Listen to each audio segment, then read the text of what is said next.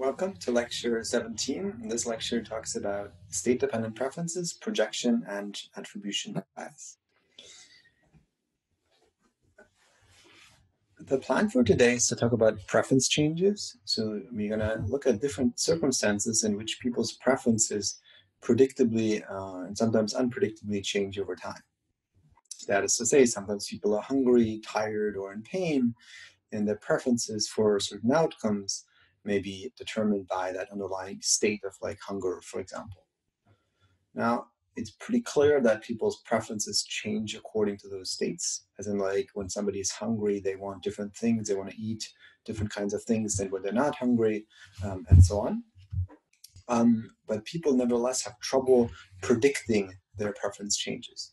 That is to say, if somebody is hungry, they may have a hard time predicting how it feels when they're not hungry, and vice versa. So uh, notice that this lecture is a sort of a continuation or natural continuation of our lectures on beliefs um, uh, from before. So before we looked at people trying to learn about um, unknown information around them and we looked at various deviations why people are not able to learn. Now we're going to look at people trying to learn or um, failing to learn at times uh, about their own preferences. Uh, and an important particular case here is um, what's called projection bias, which is people's um, lack or for um, inadequate ability to predict their own preferences, in particular for different states of the world in the future. I'm going to be more specific about that. But mostly we're going to talk about projection bias in the paper by Loewenstein et al., which is in the readings. We can talk very um, briefly about attribution bias. Um, that's going to be covered in recitation. Okay, so although not typically emphasized in economics, a simple and obvious fact is that our preferences um, change over time. There's various ways in which um, uh, our preferences change. One is short-term temporary fluctuations, um, and you can call them sort of state-dependent preferences. You can call all of what we're going to talk about state-dependent preferences.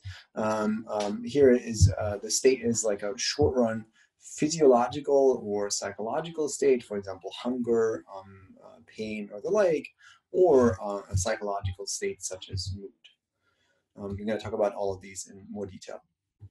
Second, there are long-run systematic changes.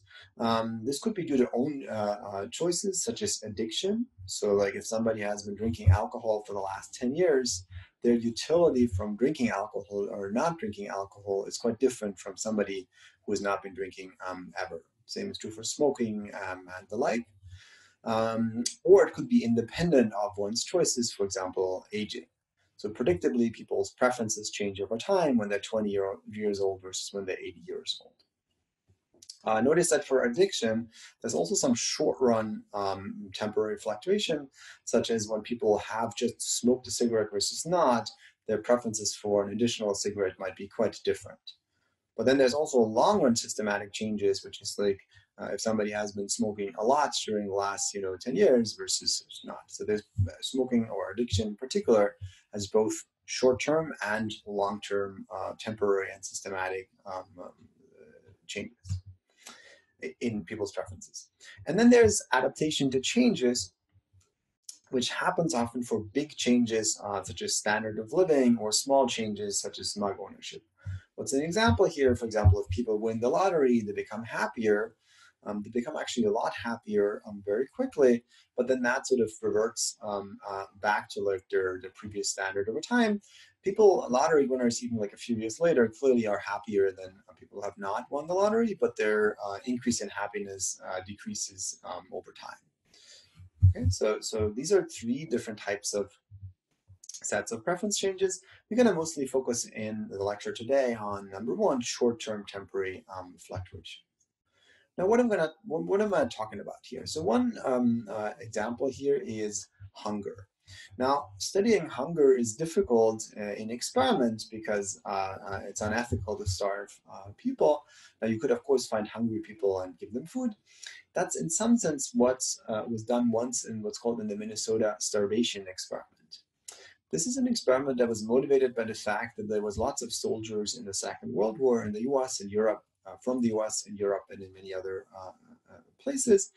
And these soldiers had been starved from the war for a long time, and they came back from the war to back to the U.S. And one simple question was, as well, when you when you have people who have been starved, um, um, have not eaten um, for a long time or very little for a long time, how do you best reintegrate them into um, uh, society, or like how do you best sort of feed them? Do you feed them very quickly, like a lot, or do you sort of gradually increase their food take over time? So then the army did some experiments with healthy volunteers, such as this guy here on the left. And uh, in, uh, people were starved, uh, literally starved by uh, getting very little food um, uh, for a while, such that, you know, after a few weeks, the guy would look like this. Um, and then the army would look at people's uh, behavior over time. They were mostly interested in, like, once you have somebody who has not eaten for quite a while, once you give them more feed, food, what's happening to their um, behavior and what's, uh, you know, the best way of, of doing that. Um, coincidentally, they also recorded what ha what's happening in the first part of the experiment when people were starved to start with. And so, you know, as expected, people get extremely focused on food when they don't eat for a while. They really get really, really interested in learning about what's going on with food and, and, and when they get next food and so on. But as it happens, it seems to be that their preferences also change um, in various other ways. In particular, people seem to lose interest in lots of other activities. There's reported uh, uh, decreased alertness, lack of self-control, general apathy. People are just sort of like almost like a different person when they are almost starved compared to like when they have eaten um, a lot. Um, here's some testimonies from, from these soldiers. Uh, one of them is the acquisition of food-related items was a reasonable extension of their heightened interest in food. So as we expect, people get really interested in food. Much less reasonable was the buying of old books, unnecessary secondhand clothes, knickknacks, and other junk.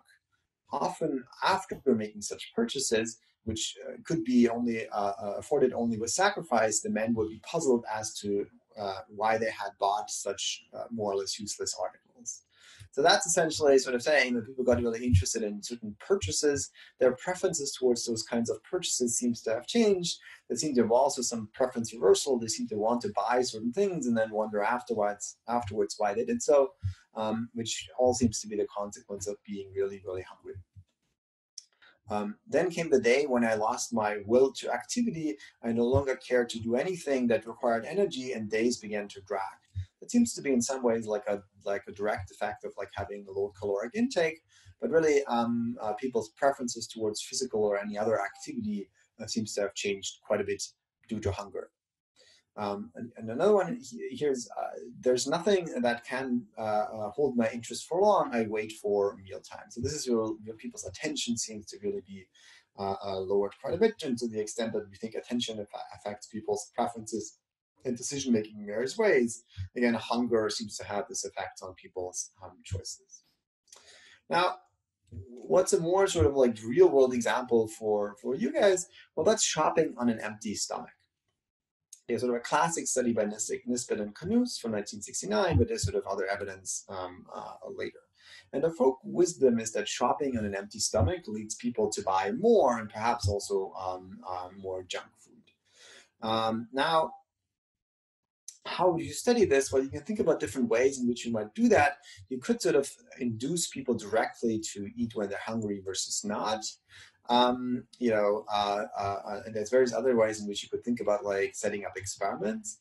Now, one very simple ways in which one um, uh, uh could study this issue is by just randomly giving um, a sample of individuals entering a supermarket a candy bar. It could be a candy bar, it could be also some power bars or some other food.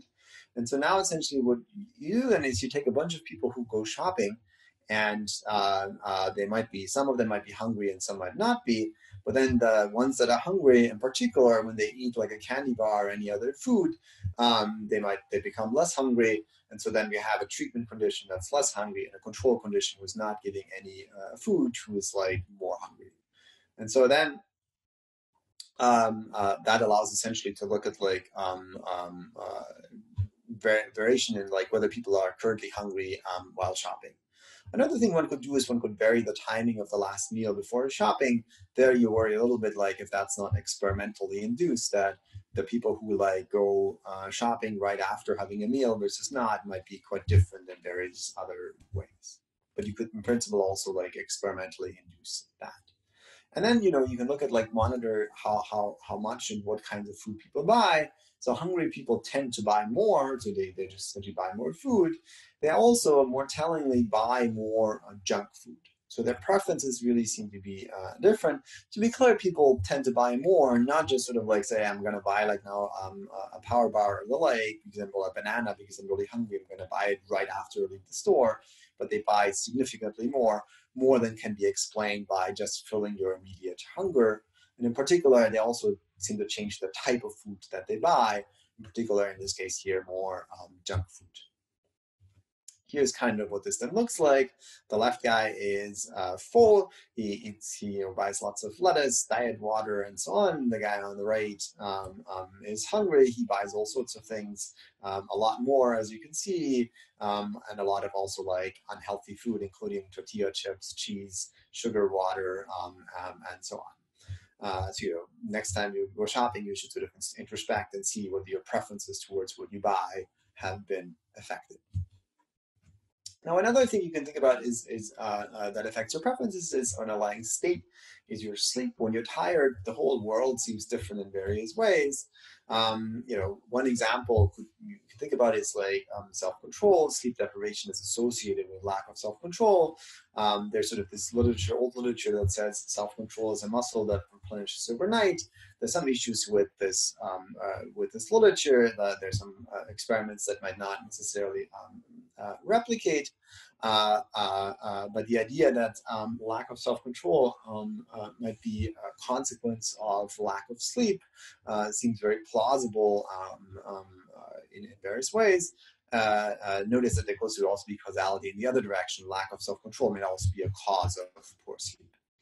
Now, uh, there's some evidence that sleep affects people's preferences. Um, when people are sleep deprived, um, they tend to, to gain weight. Uh, tired people engage more in what's called cyber loafing, they surf more on the internet. Um, there's also some evidence that sleep might, or lack of sleep might affect ethical behavior. People cheat more when they're tired. Um, and we have some evidence in our experiment in India, which I'm going to show you a little bit uh, uh, uh, at the end of the semester, that naps increase savings and seem to reduce people's um, um present bias. So really, uh, this is a, some evidence of sleep affecting people's time preferences. Uh, another uh, example is Badger et al. and, and addiction. Um, this is a very small study with only like 13 subjects. So, you know, you might sort of take all of what's in there with a little bit of grain of, of, of, of salt. Um, but, you know, I think the, the underlying uh, message and the findings are, are correct. So what did Badger et al. do? They elicited people's willingness to pay for a second dose of the heroin substitute BUP. These are heroin addicts that are recovering and they tend to have um, often cravings and BUP essentially helps people um, not to relapse and not to take heroin again. And so they get at regular intervals, they get um, BUP doses. Now, uh, it would be sort of unethical to withhold people um, these doses, but what, what the experiment was doing and it's still sort of ethically, ethically perhaps tricky, but what they were asking for is people's willingness to pay for a second dose of heroin, uh, of the of BUP, the heroin substitute. So all individuals in the experiments regularly regularly receive their single dose of BUP, and um, and then uh, there's also like uh, an additional dose they could get, and then there was some variation in the experiment. What was the variation? There was variation in the state of deprivation, so um, people were either asking all the questions about our willingness to pay for a second dose of BUP, right? Everybody always got the first dose, but then uh, there was some uh, variation in timing. For some people, um, uh, the more deprived condition, people were asked about their willingness to pay for a second dose two hours before the scheduled first dose. And the less deprived people were asked like right after the scheduled first dose. Again, everybody's getting a first dose, and we're asking about willingness to pay for a second dose always. Some people ask about this two hours before the scheduled first dose when they're really sort of deprived and craving, when they really want their first dose. And uh, others are asked when they're less deprived right after the scheduled first dose. Notice that the second dose is always held constant, so everybody always gets the first dose, and the second dose is held constant in the future, at least in those kinds of questions. So really, the willingness to pay should not depend on your current state. right? In the future, you're going to get a second dose, which is once you have already gotten the first dose. So, like, whether you uh, I ask you like two hours before or right after your scheduled dose should no, have no effect on your willingness to pay in the future because that's gonna that experience is held um, fixed and you always get the first dose. Now, they also asked uh, varied in addition. Um, the timing of a potential second dose. Uh, so sometimes the second dose was later on the same day, and sometimes the second dose was during the next week. Now, what do Badger, Badger et al. find? They find that people's willingness to pay varies systematically with the state and the delay. What's the state here? The state is the state of deprivation, whether people are more deprived or less deprived. And then the timing is essentially either about today versus um, uh, next week. Now, the median willingness to pay for the second dose later today is $50 in the satiated state and $75 in the deprived state. And we're going to um, get back to this, how we think about this, how we can explain this. But basically, the way we explain this is that in the deprived state, people's willingness to pay um, um, is higher um, because they really, really want like a first dose. So people's willingness to pay for the first dose is high in the deprived state, and it's lower in the satiated state because they already have the or the sorry people's willingness to pay for any additional dose um, is high in the deprived state because they haven't even gotten the first dose, and it's lower um, in the satiated state. But what people seem to be doing now, they seem to have like a hard time imagining their utility in the future. That is to say, in the future, both people will be satiated. So what's happening here is that people, when people are in the deprived state, they really, really want BUP, and they're willing to pay more um, um, uh, than when in, in the satiated state, again, for the second dose of the future. Now, there's also some evidence of willingness to pay for the second dose next week. And again, people's willingness to pay, and so the previous one was later today, uh, now it's for the next week people's willingness to pay in the deprived state is uh, uh, $60 in the satiated state it's $35 so um, again people's willingness to pay is higher in the deprived state. That is to say when in the deprived state really really really people want BUP and they cannot really imagine that in the next week um, uh, people's uh, when they're satiated they're, they will actually want BUP um, less. To be clear in both the um, uh, uh, the first when the late dose is later today and when the dose is next week. Uh, it'll always be the case that people have already um, received the first day dose, and then the question is always about what's your willingness to pay to receive a second dose. So when they're in the future, they will always be satiated. Um, but people in the deprived state seem to be reacting or seem to be behaving as if in the future they would also be in the deprived state. But of course, people will be in the satiated state. So people seem to overestimate uh, when they're in the deprived state how much they um, um, would like the second dose in the satiated state in the future. Now, here's another example by Schelling. And Schelling is a beautiful um, writer um, in economics. He's one of the best um, um writers that economics has. Granted, uh, there's lots of bad writing in economics, um, but if you want to write some read some beautiful um, uh, writing uh, by an economist, Schelling has a bunch of different books that are really nice to read and, and, and essays that are really beautiful. Now, in his paper in 1984, um, he talks uh, briefly about a controversial question, which is the use of anesthesia during childbirth. And uh, why is that controversial? Well, anesthesia is um, reducing um, uh, the mother's uh, pain during uh, during childbirth, but there's the potential for some side effects there's also the potential that people's uh, experience is is different, and um, um, for both of those reasons, some people argue that um, uh, anesthesia is not warranted and, and, and um, decide not to do that. Now, in many cases, people's preferences change predictably over time. First, ex ante, before um, the woman gives birth, uh, many women prefer not to use anesthesia. Once they are in excruciating pain, they request, they request anesthesia from their doctor. And then, if they actually get the anesthesia from the doctor exposed after um, uh, uh, the child is born, they regret their choice. They say, I wish I hadn't gotten anesthesia.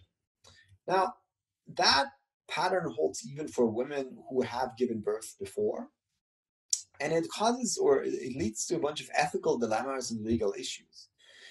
For example, to which patient is a physician obligated? The one asking for anesthesia or the one who asked that, that it be withheld, right? The person told the doctor, like, I really, really do not want any, any anesthesia. Even if I ask you later, please do not give me anesthesia. But then, of course, the person then yells at the doctor and says, I really, really want anesthesia. Give me anesthesia right now. And so there's essentially different, uh, there's preference reversals. People seem to want different things at different points in time and uh, the doctor you know you know can only make one of these two people happy. And so no matter what the doctor does either if the person gets and gives the person anesthesia then uh, person number two in my list here above is going to be happy but person number one and person number three are unhappy or the person withholds anesthesia and then person number two is unhappy. So either way the doctor cannot satisfy uh, uh these different selves um, over time now, can the physician enter a contract with the patient ex ante before? Is it is it possible to have a legally binding contract here, whether he says like you know um, uh, he or she says I'm not going to give any anesthesia and you told me so?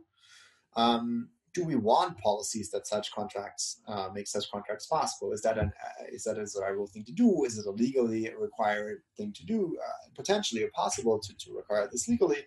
I'm not sure. But the point here really is that um, there is um, uh, uh, some misprediction going on here, right? Ex ante, the, the person says, well, if I'm in pain, I will be fine. I'm not going to need anesthesia. But then, of course, when the person is actually in pain, the person wants anesthesia. So essentially, people seem to mispredict their preferences when they're in pain, and that leads to all sorts of trouble here. I really recommend you read the, the paper by Schelling that's on the course website if you want to sort of uh, think about this a little bit more. Now, so far, um, we talked about that preferences change predictably due to changes in underlying states. Now, what are those, those states? It could be like pain, hunger, sleep, and so on. Now, um, there's additional status factors that people make systematic mistakes at predicting preference changes, right? So people, not only is it that your preferences are different when you're tired versus not, but people are also systematically mispredicting that preference change. Now, what is production projection bias? To be clear, it's the fact that people underappreciate changes in their preferences, projecting their current preferences onto future preferences. So projection bias, to be clear, is not just some random misprediction, but a misprediction with a systematic direction. Um, so people seem to understand the direction of preference change, but not the magnitude. That is to say, when people are hungry and think about like uh, how it's going to feel when they're not hungry anymore, they kind of understand that eventually they will not be hungry and that maybe, you know, suppose you're really hungry and really want potato chips, you sort of understand that you don't really want that many potato chips um, when you're full. Nevertheless, when people are hungry, they buy like 10 bags of potato chips as if they were like hungry at least for like half of their life, even though they're just, you know, they're going to be hungry for the next hour or two because then they're going to go home and go eat um, uh, uh, and so on. So people seem to um, understand the direction of people's preferences, but not the magnitude. Now, um, the underappreciation of um, uh, the effects of hunger and preferences is, you know, perhaps not the most uh, economically important um, uh, you know, part of, of um, uh, projection bias or the most important application, but there's two reasons to consider this evidence. Well, one, it's perhaps the clearest evidence of production bias. Second, people had lots of experience with changes in the levels of hunger. So any misprediction isn't due to the lack of opportunity to learn. Really, one should have probably learned uh, uh, this over time. For some other instances where, you know, um, this is only, for example, if you have lots of physical pain or for childbirth, for example, you might say, well, um, uh, you know, that seems to be like a, sometimes even one in a lifetime experience where like people really, um, it's sort of understandable that people mispredict uh, uh, their preferences when they be in when they are in excruciating pain. Um, but that's sort of understandable because you haven't experienced it before. And even, you know, for somebody, uh, a mother who has given uh, uh, birth to a child before, um, that mother might sort of just not misremember uh, to some degree. But when it comes to hunger, people have been hungry so many times and full and so on. So like really, you, you had lots and lots of opportunities to learn what your preferences are when you're hungry um, versus not. So really, it shouldn't be about a lack of opportunity um, to learn. Now, people buy more on an empty stomach. That can be interpreted as a manifestation of production bias. Hungry people act as if their future taste for food um, will reflect their current hunger, at least to some um, uh, degree, or more so than it actually does. But it's not completely clean evidence of production bias because there could be always other things going on. For example, if you're really hungry, um, you might focus, uh, some things might be more salient to you. And, you know, there you might sort of buy certain things more because um, you pay more attention, for example, to potato chips and really sort of learn how uh, exciting potato chips are and so on. But um, let's just go with hunger um, uh, for now. There's lots of other evidence of production bias um, in addition to, to the hunger example. Now, remember the paper um, that we discussed on food choices by Read and Van Leeuwen. This is the paper where office workers are asked to choose between a healthy snack and an unhealthy snack. Now, so far, we had looked at um, uh, this as a piece of evidence for um, present bias. We were looking at when people are choose, choosing for the present right now versus when they choose for the future. Um, do people uh, make more uh, uh, unhealthy choices when they choose for the present? That is to say, the stylized fact that we found was that when people are choosing snacks for the future, they were um, quite likely to choose healthy snacks. So, you know, you choose salad for the future um, as your um, uh, snack in the afternoon. And when then in the you ask again, like right now or today, what would you like? People seem to switch their preferences towards unhealthy snacks. They'd rather have like um, chocolates. And so we interpreted that at the time as evidence of present bias, and surely it seems like that is evidence of present bias. Now, in addition, now we're going to consider variation in the timing of those choices. So some people were asked when they were hungry late in the afternoon. Others were asked when they were satiated or arguably satiated immediately after lunch. And then the snacks were to be received in one week, so that's held constant, the timing, otherwise the timing is held constant. So we're always gonna look at choices for snacks to be received in one week. Um, some of the, uh, in some of the cases, the snacks were uh, to be received when people were hungry or likely hungry late in the afternoon. In some other cases, um, the snacks were received when people were satiated immediately after lunch. Okay, so there's like four cases here. There's the timing of choice, either people ask whether hungry versus not, um, and then the timing of the receipt of the snack, which is when they were hungry versus not. And the question now is, are hungry people now good or bad at um, predicting their preferences when they're satiated, and are satiated people are good or bad when they're um, uh, predicting their preferences when they're hungry, sort of in the different um, state. Okay, so we're going to interpret here um, the, uh, so here's a table um, from Read and van Leeuwen, table number one. Uh, it's a bit of a sort of confusing table um, uh, for no good reason. Uh, let me just walk you very um, quickly through that table. So the rows are the current hunger and the columns are future hunger. So the first row is when people were asked when they were hungry. So this is like uh, late in the afternoon. The second row is people were asked when they were satiated. That's like um, right after lunch. And then the columns are, um, again, uh, uh, remember all of the choices are for next week. So the first column is choices for when people were um, hungry, that's late in the afternoon. And the second column is when people were satiated, um, that's um, right after lunch. Remember again, all choices are for uh, next week, so for one week in the future. Now, we can interpret now the main diagonal um, of this table as reflecting people's true preferences. That is to say, here's no projection bias. Here, people are asked when hungry about to predict what they wanted or to, to say what they wanted in the future when they were likely going to be uh, hungry as well. That is to say, 78% of people are um, choosing an unhealthy snack for the future um, uh, when they're hungry, so that's in the late afternoon, for the future case when they're in, in the late afternoon. Uh, in contrast, only 26% of people choose um, uh, uh, the unhealthy snack when they're satiated, that is um, right after lunch, uh, for when the, um, uh, the snack will be delivered in one week right after lunch. Right? So there's here's no production bias here because essentially this underlying state hunger is held constant. Hungry people uh, predicting for when they're hungry or, or asking uh, what they want when they're hungry. 78% of people think they want unhealthy stuff. And um, uh, uh, again, satiated people, 26% of people say um, they want unhealthy stuff. So 74% of people say they want the healthy snack. Uh, in contrast, when they're satiated. Okay, so again, that's that's what's written here. Late in the afternoon, when people are hungry, 78% of people choose the unhealthy snack for the late afternoon when they will be hungry. Immediately after lunch, when they're satiated, 26% of people choose the unhealthy snack for immediately after lunch when they will be, will be satiated. Now, then what we see here is um, uh, uh, uh, the, the entries that are off the main diagonal.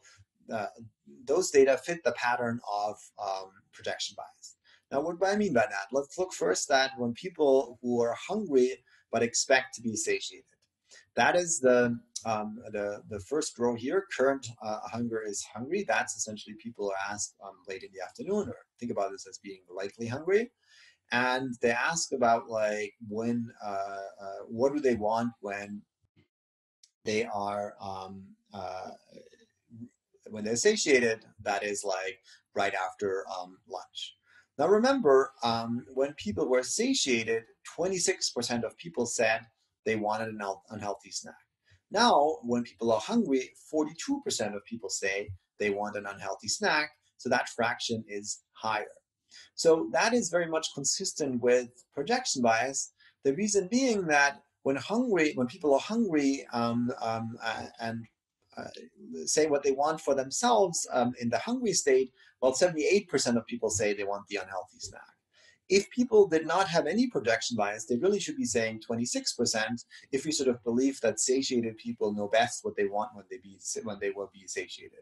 Instead, 42%, a higher fraction of people say they want um, an unhealthy snack um, or, or while when predicting or when when when, when um, answering while they're hungry um, for when they will be satiated.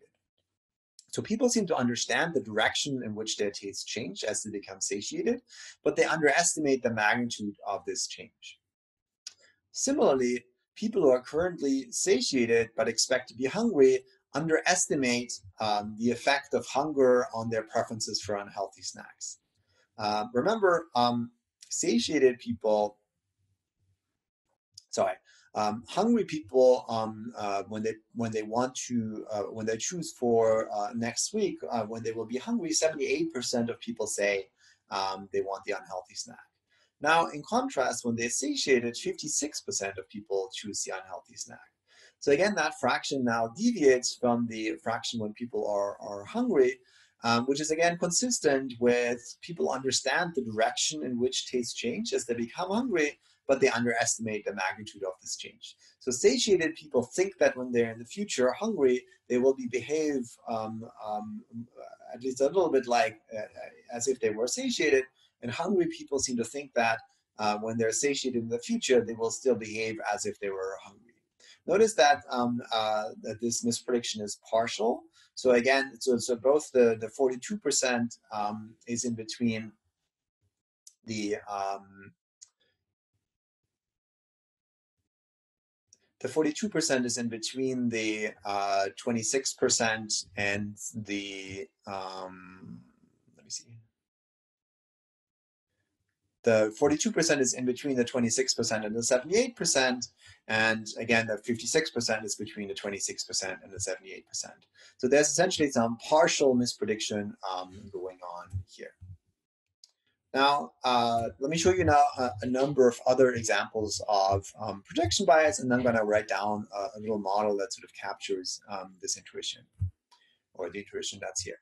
So uh, uh, one another example is uh, is catalog orders. This is Conlin et al.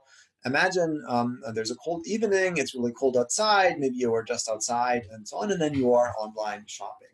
Notice that in Conlin et al, really it's catalog orders and not um, online shopping because online shopping didn't quite exist uh, at the time. Uh, but any, in any case, you imagine you buy online a warm uh, jacket.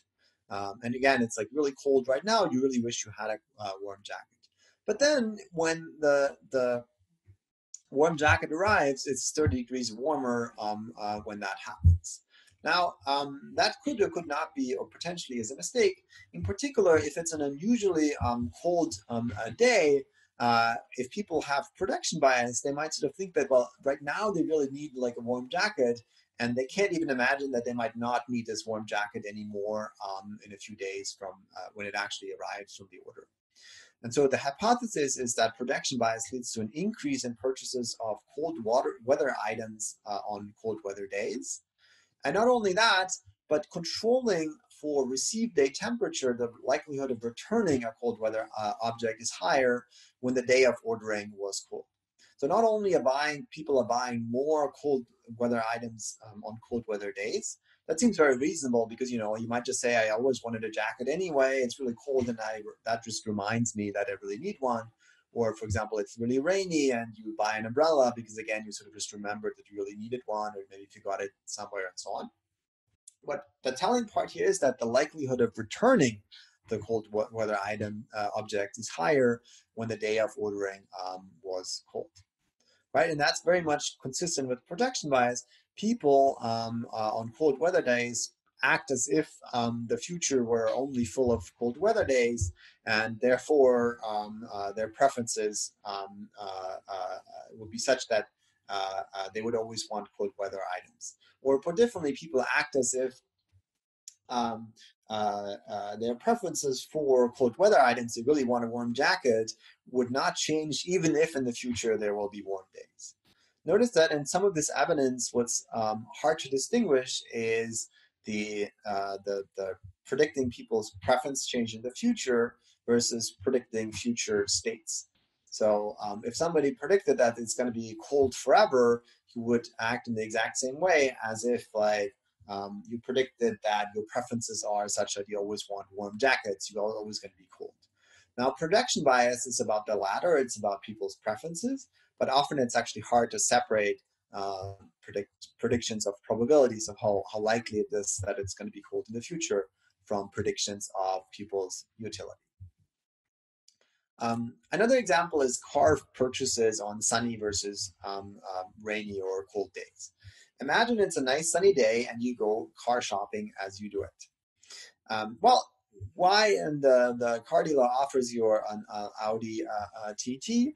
Um, uh, you know why? I guess I never thought of the Audi TT. You go for a test drive and the wind whips through your hair. It's really sunny and great, and like having this this car uh, uh, during this sunny day is really um, amazing. So you know you would love to to buy a car like this. Um, why not? Imagine in contrast, car purchases on an icy day. Imagine you car shopping around the time of a freak snowstorm. You kind of wanted to have a car, and somehow it's a snowstorm when you go um, car shopping. Now, the car dealer says, "How about this Grand uh, Jeep Grand um, uh, Cherokee?" And you you might say, "Why? Why? I guess I never thought of the the, the Jeep Grand Cherokee. Why not um, try it?" You go for a test drive, and you maintain traction on the black ice, and you jump the curb with ease. It's just amazing. Now, you might just say, well, I'm, I would love a car um, like this. Now, what people seem to then um, forgetting in both of these examples is that it might just happen to be a, a really uh, uh, bad uh, snow day on that particular day, or it might have just been like really sunny on that particular day, and things might change um, over time, and people might not um, understand that their preferences for um, uh, the Audi versus um, the Jeep might change um, with the weather um, over time. And that's exactly what Busse et al. are looking at. They're looking at how does weather impact uh, automobile purchases. Um, and um, in particular, what they look at is the weather on, or the prediction is that the weather, or the neoclassical prediction is that the weather on the day of a car purchase should have no influence on the type of car bought. So now what, what Busse now look at is do idiosyncratic weather conditions controlling for time of year predict car sales, and then in particular also um, returns of those cars. And they look at two types of cars, in particular convertibles, and then they look at four-wheel drives like the Jeep that I just showed you. And the key part here is that they look at like idiosyncratic weather conditions, that is to say, controlling for time of the year. Suppose it's an unusually warm and unusually cold or icy day, um, does that predict people's car sales um, or purchases? and particularly also the returns of those cars. Now, um, the, the buying patterns are very much consistent with projection bias. People buy more convertibles on good weather days and more um, four-wheel drives on bad weather days. And then, um, uh, in particular, and again, that evidence by itself is not necessarily projection bias. It could just be it's a good weather day, and you kind of always wanted to buy a really nice car, and therefore you just do it on the good weather day. But people are also more likely to return their convertible um, uh, if they bought it in a good good weather day, and they're more likely to return their four wheel drive if they bought it on a bad weather day. And that's very much consistent with evidence of projection bias. On a good weather day, you think you know your convertible is going to be amazing forever. You're going to be love driving, and even if it's going to be raining, it's going to be amazing. But of course, if it's raining, a convertible is really not like a, a car that you want to have, or it's really cold outside. That's really not a great car to have. Similarly, um, if you have a four-wheel drive and it's really warm and nice outside, you probably much rather have like a, a lighter car and, and, or potentially even like a convertible. Now, one important question here is now in any the, the, of the behavioral biases that we discussed is how does the market react to such behavior? So one tricky part here is that you want to be kind of careful. So, so on the one hand, you might sort of say, well, let's exploit this kinds of behavior. And I think that's right. You might sort of get people to purchase stuff that they don't necessarily um, uh, want, and surely that's happening in some cases. But to the extent that people can just return these items, that's actually not necessarily a great idea. And particularly if, if, you're, if you're a car, car salesperson and you sell people stuff and then they just come back and you have to deal with them and they're unhappy.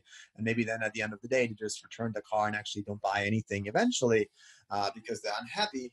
That's really not great um, for you. Plus, it wastes a lot of time and effort. On the other hand, uh, you know, sometimes people might just not return things and they might just sort of get stuck with their car and, and, and just leave it at that, then then it might be a good idea to, to exploit this behavior. In particular, sort of like on on good weather day, you might want to try to sell people convertibles. Another thing you could potentially exploit um, is, is essentially people just have higher willingness to pay. Suppose somebody really, really wants to buy a convertible anyway, regardless of the weather, but on a good weather day, their willingness to pay might be higher. And so you might be able to sell them additional stuff, or you might be able to, to sell them maybe a nicer version of the car, which probably they're not going to return because, you know, once they have it, they're just going to keep it. And so you might want to, um, uh, uh, uh, uh, you know, uh, exploit that if you're um, a company. You might also, um, uh, or there might also be some agency issues within the um, the, the, car, car um, uh, sales shop, which is like if the salesperson really wants to um, uh, sell things and is uh, incentivized to sell things, and that's regardless of the returns, then you might get into situations where, in like sunny days, lots of convertibles are being sold, but they're all being returned. So if you are a company, you kind of want to set the incentives right that like the car salesman gets only rewarded for stuff that's not um, returned because it precisely gets you like things that will not make you happy or profitable in the long run. Now there's a, another, um, uh, so as a customer now, how might you take advantage of projection bias? Well, and in, in some ways, there's an article or, uh, here that you can look at uh, that argues that winter is the best time to buy a convertible. And so the reason is, of course, is convertibles are are often cheaper in, in, in winter in part because you know the car sales dealer might have like um, storage costs the like, so the convertibles is actually cheaper, or you know just because people are taking advantage of in the summer um, they really want convertibles. Now you might sell, say, well, let's just buy a convertible in the winter, and I think that's in principle um, right if you have like the time to wait until the summer or like have a long time horizon. Now, you want to be a little bit careful with exploiting um, these market conditions um, uh, as a neoclassical uh, agent, uh, which was manifested by uh, uh, some of my colleagues who um, shall be unnamed who wanted to buy a convertible uh, sometime in the summer. They were really excited about the convertible, but then they sort of realized that, well, winter is actually the time to, to buy a convertible because it's going to be cheaper. So then they decided, well, let's just wait until the winter and then buy the convertible um, then. Um, of course, what then unfortunately happened, or maybe fortunately, uh, depends on the perspective, once winter arrived, they actually didn't want a convertible anymore because you know driving a winter uh, a convertible in the winter is really not a lot of fun. So projection bias perhaps um, also kicked in with my colleagues where they then perhaps should have just bought the convertible um, and then predicted that in the summer they really wanted it but instead they didn't buy it because uh, in winter who wants a convertible um, in the winter? So uh, when exploiting behavioral biases from others you want to be careful that uh, you might not be affected or that you may be affected by it um, yourself let me give you one last example, which is this um, example by Van Boven and Loewenstein, um, which is about thirst.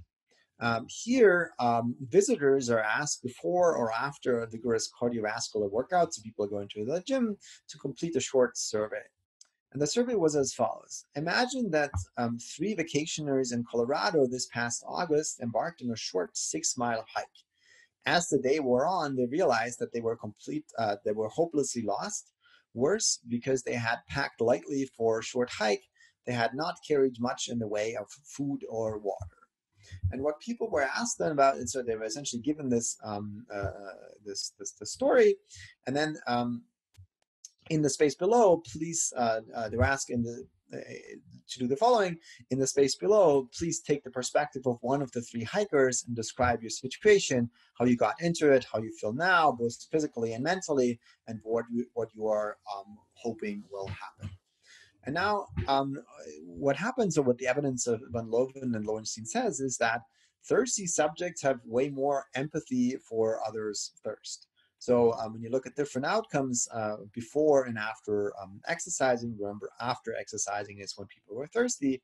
Uh, thirst, thirst was mentioned um, uh, uh, before hunger in the essay for how thirsty people much more. Thirst was unpleasant for hikers was mentioned much more. Hikers would regret not packing water. Thirst more unpleasant for the self oneself would regret more uh, uh, not packing water. So all of these items that are sort of like um, thirst related, people when they were uh, thirsty after exercising were way more um, um, uh, focused on than than not. So it is as if like people are projection bias in the sense like people um, understand much more that the condition of thirst is really bad um, when they're thirsty compared when they are not. Okay, so let me take stock here what, what we discussed. So I showed you some evidence of projection bias for many short run changes in preferences. Uh, uh, uh, and sort of, uh, at least for some of them, there's hunger, thirst, pain, sleep, weather, addiction. Um, there's other evidence as well as arousal, um, anger, sadness, and so on. When people are in certain states, they have trouble to predict their preferences when they're not in that state. Now, one key question that I don't have a great answer for you is why do people not learn? People have lots have had lots of experience with a lot of these changes, in particular when you think about like sleep or hunger or the like. Uh, but even for addiction, people just have smoked a cigarette versus not, that happens all the time. So they really should have learned uh, over time to predict their preferences.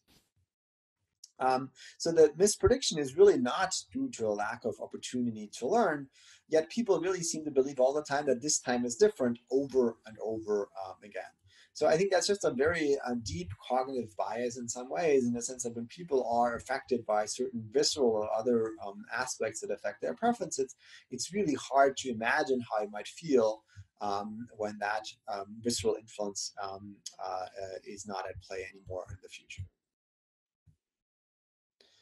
Um, in addition to people underestimating um, uh, short run changes in preferences, people also underestimate adaptation to long run changes.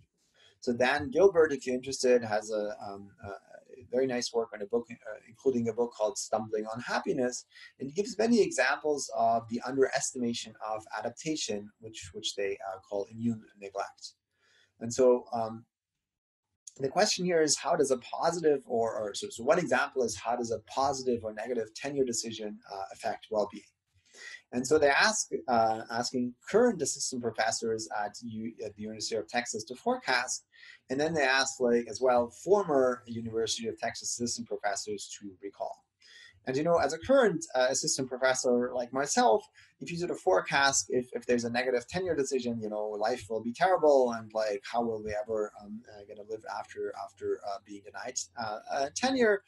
Um, uh, um, and so when you then look at what's actually happening, Well, people seem to be, um, professors seem to be um, relatively accurate in predicting the immediate impact of the tenure decision, but they overestimated the long run impact.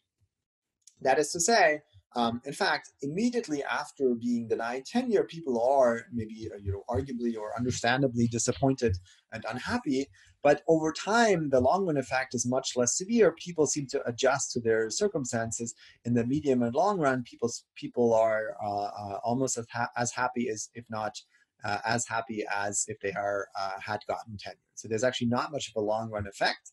Yet people seem to mispredict the effect. They really seem to think like in the short run the effect will be really bad, and that bad effect will be um, last will last forever. So people seem to essentially sort of understand there's a psychological immune system to um, uh, bad events. People recover from negative shocks um, quite well over time, but people seem to mispredict um, this recovery, which, which again is what's called um, immune neglect. There's similar misprediction for other life uh, events such as paraplegia uh, or, or, lottery wins. So like for very negative and positive events, people seem to misunderstand that like again, in the short run, there's usually a pretty large decrease or increase in people's um, happiness and life satisfaction, but people tend to recover from that quite well over time. But in their prediction, people seem to mispredict um, that adjustment. People seem to think that these bad, uh, uh, the, the bad effects on happiness or bad or good effects on happiness uh, would persist um, forever. Let me now show you a simple model of projection bias by Loewenstein et al. Um, that formalizes some of the intuitions that we discussed so far. Um, so suppose true utility of time t depends on both consumption ct at time t and the state st at time t, so it's u of ct st. The state could be anything that affects utility from consumption, from ranging from the level of hunger or addiction, whether somebody had just smoked versus not, or whether somebody has just gotten some BUP um, uh, dose or not, or past consumption, um, etc., whether somebody is tired, and so on. Now, the prediction at time t of future utility uh, uh, uh, at time tau larger than t from consuming c tau and state as tau is u hat of c tau as tau. And that equals 1 minus alpha times u of c, c tau s tau plus alpha times u of c tau st. Now, what is this expression?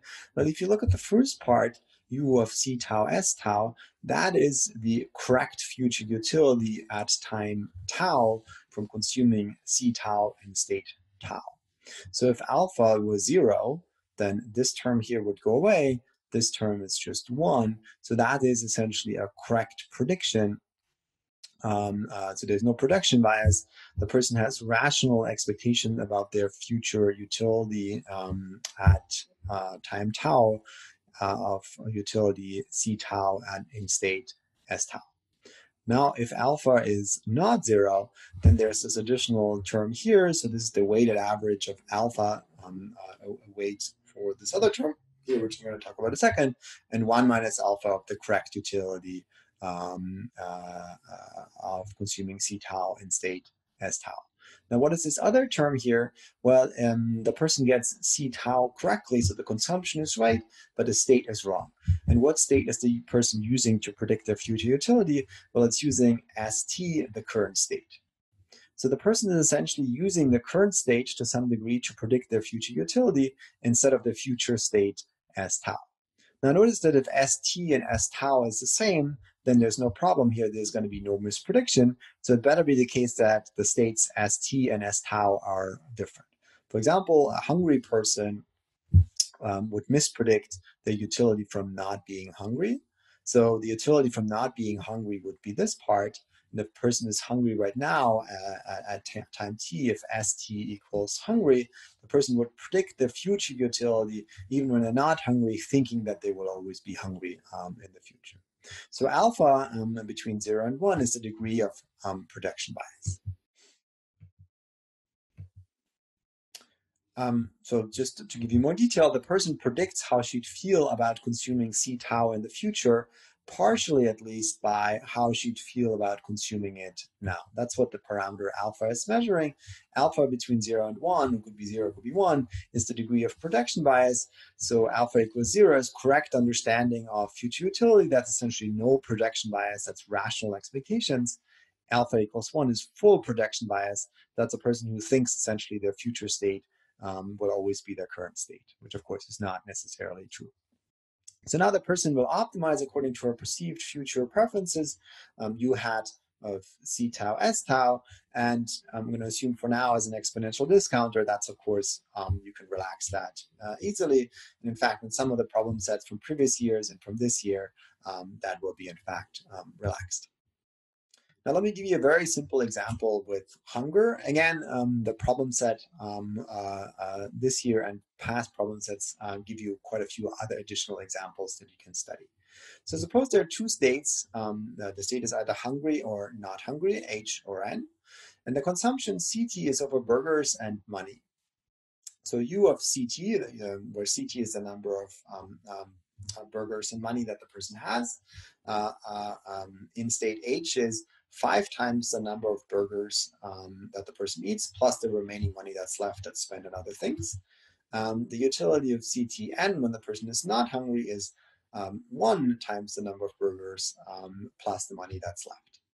Now, um, what does that imply? What it implies that she's willing to pay $5 for a burger when hungry and $1 when full.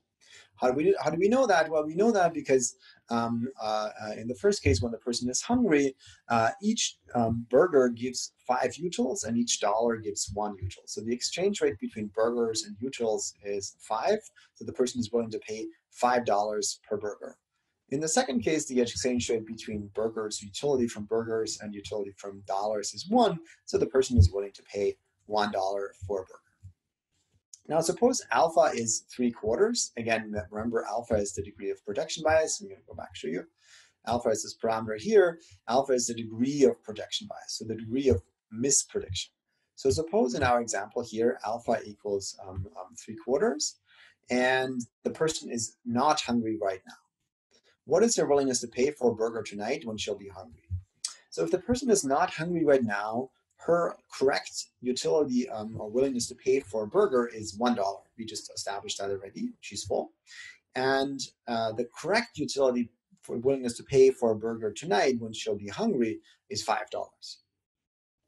Now her projection bias is three quarters. So essentially, um, uh, she puts three quarters of uh, a weight on her um, current state and one quarter on the uh, full state well, three quarters times one plus one quarters times five, or like going essentially three quarters between a difference of four is essentially um, uh, uh, uh, three. So the person essentially will think that um, their um, uh, future willingness to pay is uh, $2 um, for a burger um, tonight. Or put differently, if she thinks she um, only wants like uh, her willingness to pay will only be two dollars um, for a burger tonight. If she orders for a burger tonight and the burger costs like three or four dollars, she will not be um, willing um, to do that.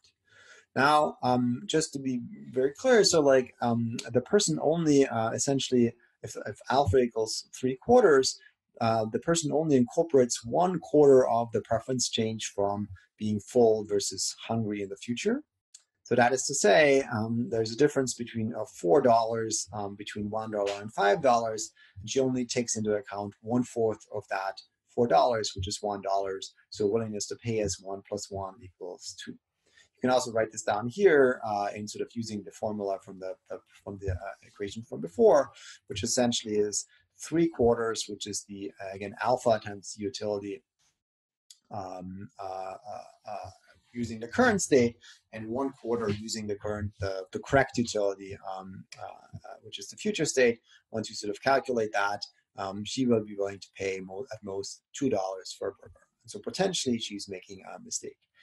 Um, now and, and so again in in, in the um, uh, in the problem set, you'll have more examples and questions uh, uh, that, that allows you to practice with this little model. Now, why should you care about projection bias? I showed you pretty good evidence of projection bias in many settings in the sense of saying like, uh, you know, uh, we think projection bias really exists, and we think projection bias might be quite important. Eh, eh, so it might be uh, uh, relevant in explaining people's behavior in those settings. Now, the consequences in those settings is relatively unimportant.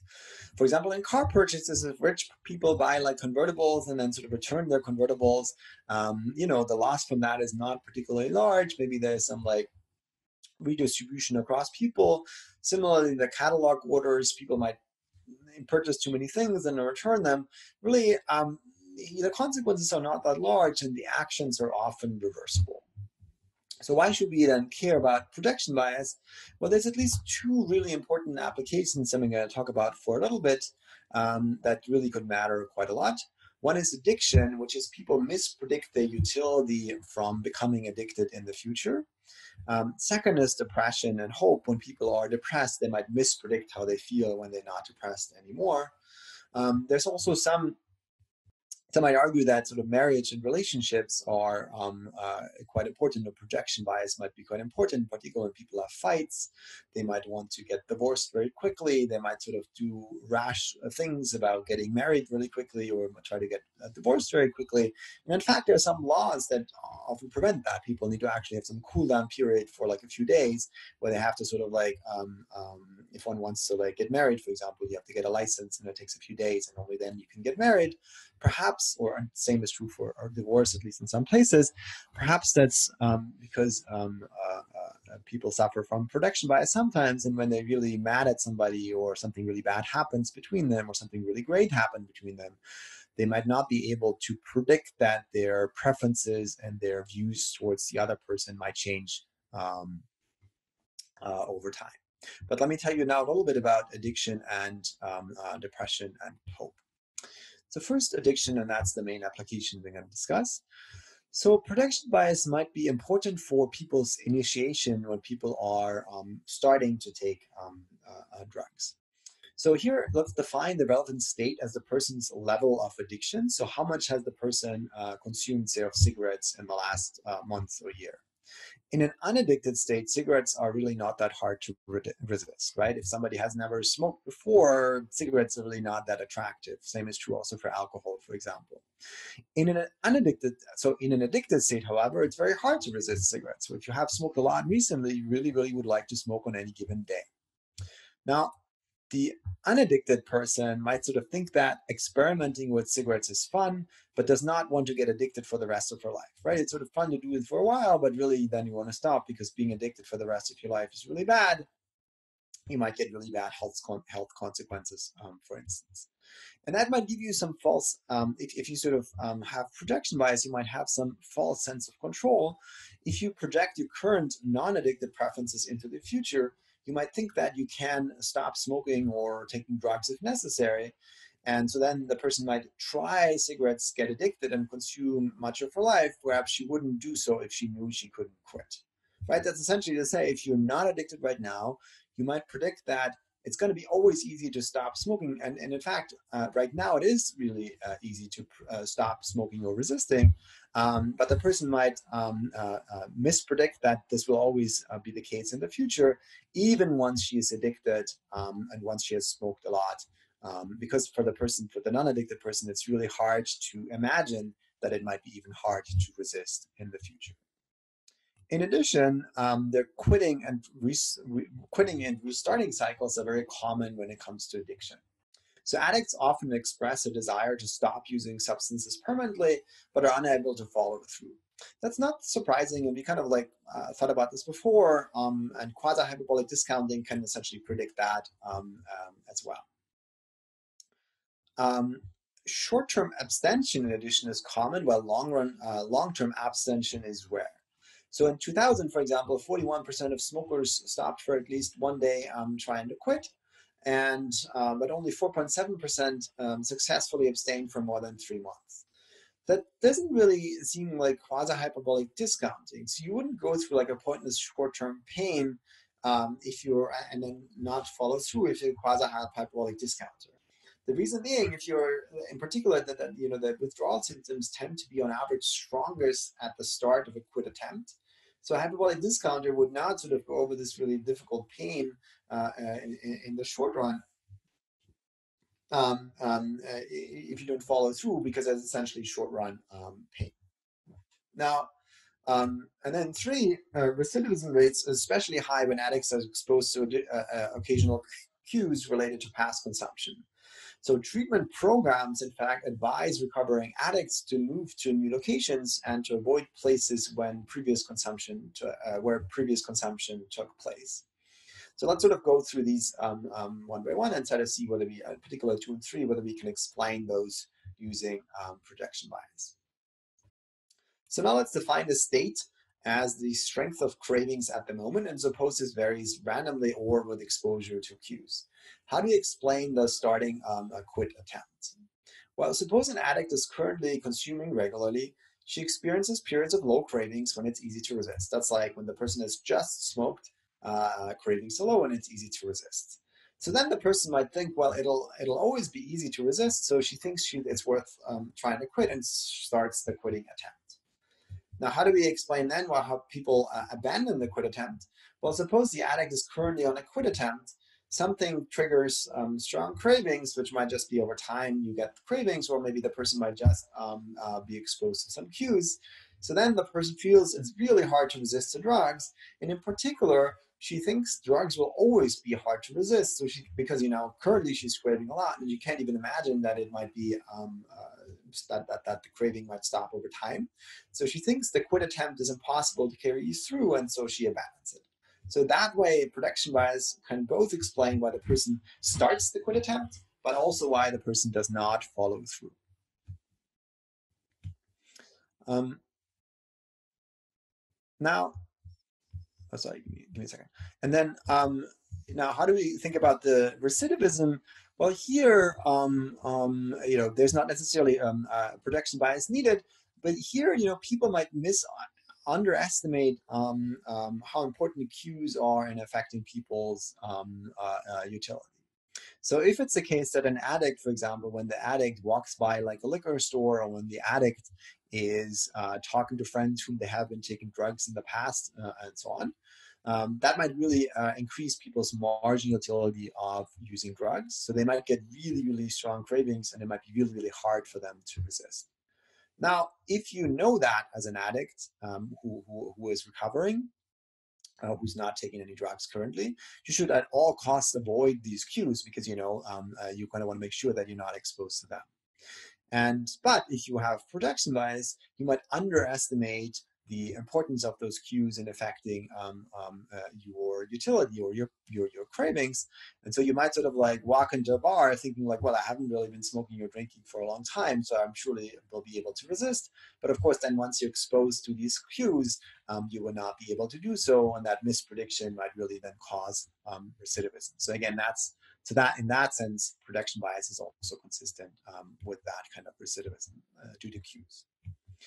Now, um, uh, let me so talk very briefly only about um, um, depression. Uh, and, and, the reason being that we're going to talk about mental health in a future lecture. So depressed individuals have the tendency to project their depressed feelings not only to the future, but also um, to the past. And so um, uh, in particular, um, you know, the, the, depressed tend to think about, uh, you know, depression is the, the inability to construct a future. And in particular, when someone is depressed, the past and future are absorbed entirely by the present, and people can neither remember feeling better nor imagine that they will feel better um, in the future. So that's to say, if the person is really feeling terrible right now, um, they also think, you know, they always have been feeling terrible in the past, and they also think that they will always feel terrible in the future. So then, you know, life might feel particularly hopeful as there's no scope for future improvements. And if you think your life was always that bad, um, there's really, um, uh, uh, in some cases, people might think there's really not much of a reason um, to live. And that's, of course, an extremely dangerous and um, um, uh, uh, difficult or, or, or, consequential, potentially misprediction, because of course depressed people can get better through therapy and through through through drugs and so on, um, um, uh, uh, and often there's also remission over time. Um, but if people mispredict that, um, they might, for instance, uh, never seek treatment because they think, why would I ever seek treatment if I'm always feeling terrible um, for the rest of my life um, anyway? We're going to get back to that a little bit when talking about mental health. Now, um, one thing that we have not really talked about is how to think about these different biases. In particular, what's the difference between projection bias and naive quasi-hyperbolic discounting? So both naivete and quasi-hyperbolic discounting and projection bias entail a misprediction. So as an example, take a smoker who wants to quit. Uh, the naive quasi-hyperbolic discounter overestimates their future patients. So that person will sign up for a, a commitment contract to stop smoking and might fail due to the overestimation of usefulness of commitment devices, right? That person thinks, you know, um, uh, uh, that commitments, uh, that person understands that she has some, suppose that's a partially naive person, which we need, otherwise the person would never sign up for a commitment contract. Suppose the person is partially naive, the person will sign up for that commitment contract thinking that's going to help them stop smoking, uh, but the person is going to underestimate how bad their self-control problems are. So then the person might fail because they think the commitment device is really, really helpful, but in fact it's not um, strong enough. Now, um, for projection bias, the person might underestimate the influence of altered future states. So the person might also sign up for a commitment contract to stop smoking and then might fail due to the, due to the underestimation of the changes in future cravings. That is to say, if you are currently not craving, you might sign up for a commitment contract that would help you um, to continue not using drugs. And you might um, underestimate, however, how bad the cravings will be in the future once you see certain cues of the like. So again, you might choose a commitment contract that is not strong enough because you mispredict your future preferences. In this case, not because it's in the future, not because you mispredict your beta, like in case number one, but rather because you mispredict how uh, um, strongly future um, uh, states will affect your preferences. You can also think about another example, anesthesia during childbirth. You can um, uh, get similar sort of um, um, patterns, both um, naive quasi-hyperbolic discounting and projection bias might be able to explain uh, people's choices there. In particular, both of them would potentially um, uh, predict preference reversals. Now, how can we tell now projection bias and naivete um, regarding beta um, uh, apart? Well, the key part here is that projection bias is a state-dependent misprediction. So people are more likely to predict future temptation to overeat when hungry. They're more likely to predict smoking when you haven't had a cigarette for a while. So when people are, when the state in the future is different from the current state, people might mispredict um, their preferences. So now, and and um, uh, present bias, in fact, it, it, has nothing to do with the state. It's essentially just about like the future versus um, the present. So now, um, what do we need? What kind of variation do we need to disentangle uh, uh, the two explanations? Well, you need variation in timing and in particular variation in states. So present bias would say, um, it doesn't really matter what state you're in. It doesn't matter whether you're hungry or not right now. There's always going to be a misprediction between the present and the future. And um, projection bias would very much say the states are matter. It's a state-dependent misprediction. Okay, so if you wanted to look at like people's um, uh, predictions for the future, present bias or naivete regarding present bias would say it doesn't matter whether you've smoked or whether you're hungry right now for your prediction for the future. Projection bias would say it does matter um, quite a bit. But then there's a tricky question is when should you in fact offer people commitment devices? Well, you should probably offer people commitment devices if you want them to choose correct predict uh, uh, uh correct um, uh, uh, if you if you want people to make correct choices, you probably want to um, uh, offer people commitment devices at times when they're in fact in the same state. So when somebody already has cravings, you want to offer them a commitment device because that person really understands how it will feel in the future. If instead you offer somebody a commitment device when they don't have cravings, they might choose that commitment device, which I guess is good, but then they might fail because they mispredict um, how strong of a commitment device they might need in the future. So let me then briefly summarize. So, so what did we talk about? So we talked about state-dependent preferences. So preferences vary systematically with the underlying states. For example, um, hunger. Food is tastier when you're hungry. Uh, going on dates is um, uh, uh, less enjoyable while being sick. Classes are best when we're rested.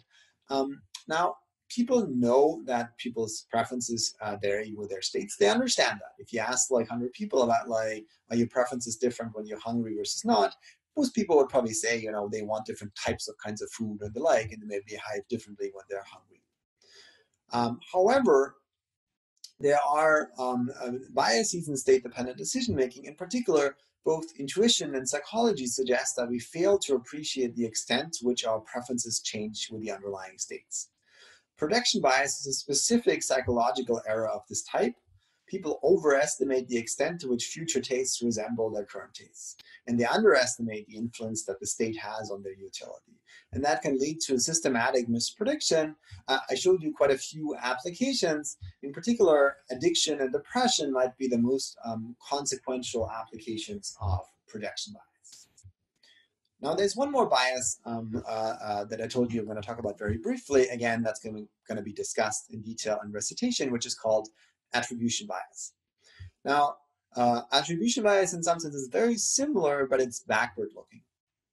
So while projection bias is the misprediction of the influence of future states. So when you think about like the future, are you going to be, uh, uh, how are you going to enjoy a meal depending on when you're hungry versus not, or burgers versus salad? Um, how is your future preferences shaped by uh, future states? Attribution bias is instead backward looking. It's the misprediction of the influence of past states. Um, so that's to say, and let me sort of define that um, briefly, uh, when judging the value of a good, people are overly influenced by the state in which they previously um, consumed it. Now, let me give you some examples, and again, then you'll talk about this more in recitation. Um, people are more likely to return to a restaurant when first tried when hungry. So if you go to a restaurant when you're really, really hungry, you think the food is like amazing. Um, but in fact, it might just be that you're really, really hungry. So when you then come back to the restaurant, you might be surprised that in fact it's not that great. Um, people are also more likely to negatively uh, rate a movie um, uh, when they've seen it while tired. Well, why is that? Because the experience is just not that great. And then you sort of think the movie is really not that great, but really it's just you were tired. People are also less likely to recommend a zoo to a friend if it rained during the last visit. Well, it's just the experience of that zoo is not that great. Of course, some days it rains and some days it doesn't. So you're not going to tell usually your friend only go there when it's sunny. People are saying like this zoo is just not that much fun. And perhaps more um, uh, relevant for you, people are more likely to recommend, or maybe more likely to recommend a class um, that they took um, uh, while well rested. So I was, um, uh, a few years ago, I was teaching 1413 um, at, at 9 a.m. and I got lots of complaints from students uh, uh, about the class being way too early and I was telling them uh, or trying to tell them that you know the class is really lots of fun. You may may or may not be able to appreciate that if you're really um, tired. So attribution bias might sort of make you think that um, might attribute um, some negative or positive experience um, to the actual underlying quality of the um, issue or the, the, the good that's being offered, as opposed to as you should to the underlying state. Again, you're going to talk more about this in recitation. Now, what's next? Uh, remember, there's no class on Monday, um, April 20. Um, on Wednesday, April 22, we're going to talk about gender discrimination and identity. Please um, read Heather Sarsons's paper on section one, just the introduction. Uh, thank you um, very much.